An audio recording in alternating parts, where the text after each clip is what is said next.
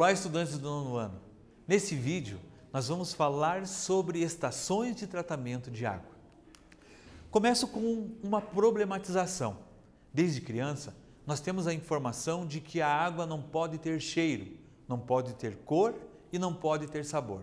Porém, no ano de 2020, lá no mês de janeiro, os moradores do Rio de Janeiro acordaram com as suas, nas suas residências com a água da torneira saindo com esta qualidade aqui. Ó. Ligavam lá o registro do chuveiro, a água tinha a mesma qualidade. De bate pronto, eles se recusaram a tomar esse tipo de água, porque sabiam que uma água, como aspecto físico, não poderia ter cor, cheiro ou sabor. Bom, a SEDAI, que é a empresa que controla e que administra a, o tratamento de água lá no Rio, ela no dia 7 de janeiro admitiu a presença de geosmina em, em algumas é, amostras analisadas.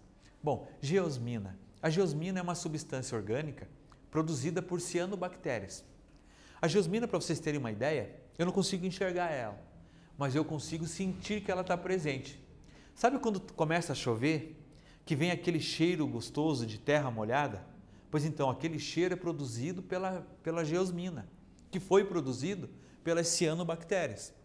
Então, lá na SEDAI, na empresa de tratamento de água, eles identificaram uma proliferação muito grande de algas, de cianofícias, fotossintetizantes, que estavam produzindo em demasia geosmina, que por consequência alterou a coloração da água, o aspecto físico da água, como nós vimos ali no slide anterior.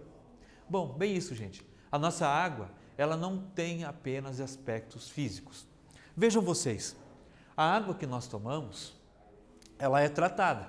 Mas antes de chegar aos reservatórios, ela veio de onde? Ela veio de rios, de lagos, de mananciais, não é verdade?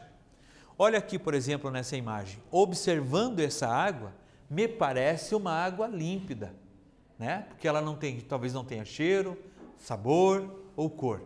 Mas nem por isso ela é uma, talvez seja uma água própria para o consumo. Por quê? Porque a água, descobriu-se há muito tempo atrás, que ela é um excelente vetor de, de, de doenças, ou seja, um excelente transmissor de doenças. Nós não conseguimos aqui com os olhos identificar as bactérias, os fungos, vírus, os metais pesados que porventura possam estar dissolvi é, é, dissolvidos naquele tipo de água. Olha lá, por exemplo, ó, materiais ou, ou agentes patogênicos precisam ser separados da água, por isso ela precisa ser tratada.